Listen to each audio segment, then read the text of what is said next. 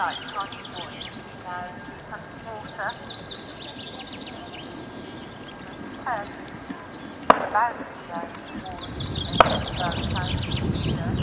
and the left-hand turn the other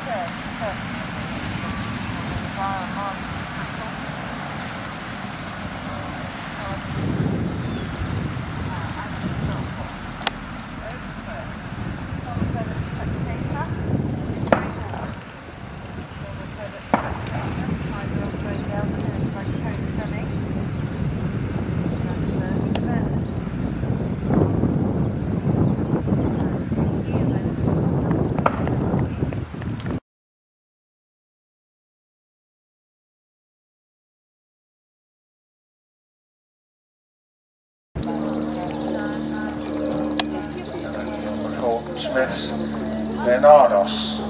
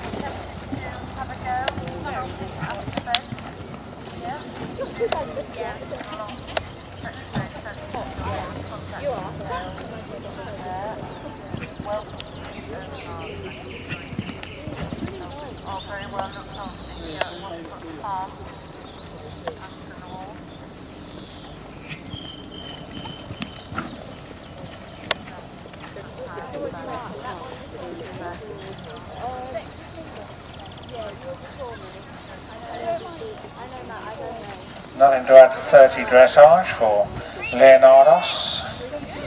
Two sixes is the next one.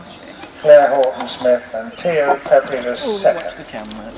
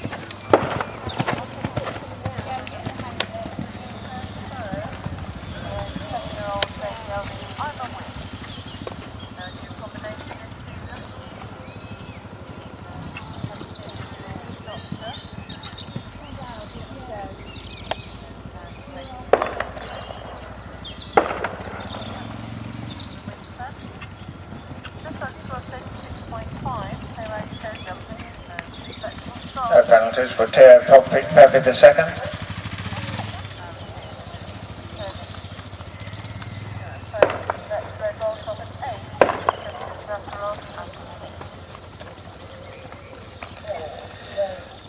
Three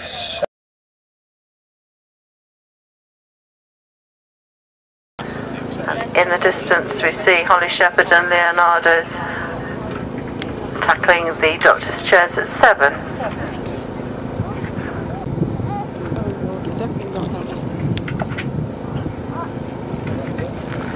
Andrew Janssen and Gold Rush the third have now completed.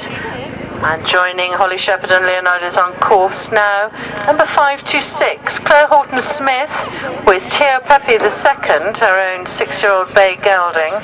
While best dressage score of the day so far, 19.5 from this combination, and a clear round show jumping, setting up well for a place in section K.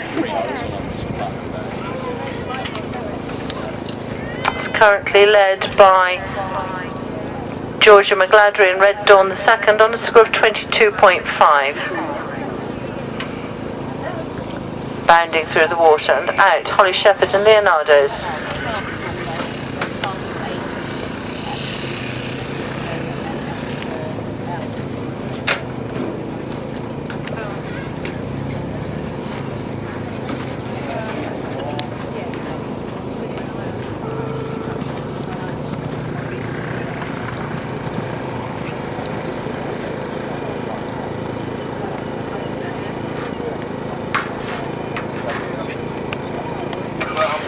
Nicely over the caterer's corner by Hollie Shepherd and Leonardos.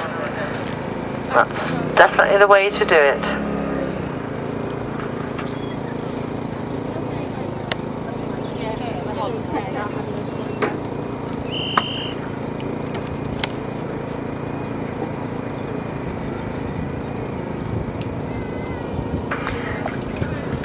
Clare Horton Smith and Tio Pepe the second turn now to come back towards home over the Betts Red Roll top at 8.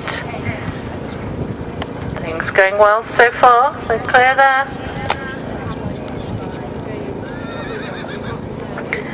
And that's completion for Hollie Shepherd and Robert Horton Smith's Chestnut Gelding Leonardos.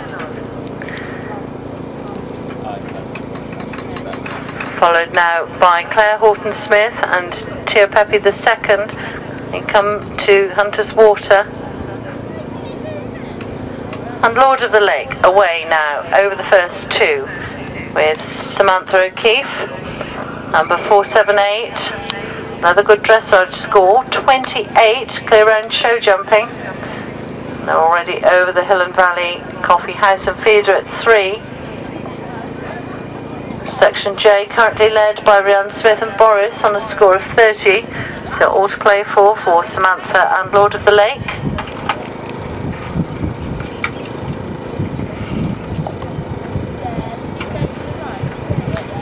Beautifully over the caterer's corner at 12 by Tio Pepe the second and Clare Horton Smith.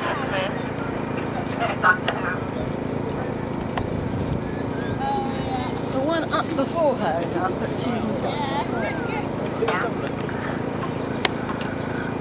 Two more obstacles for Clare Horton Smith and Tio the second.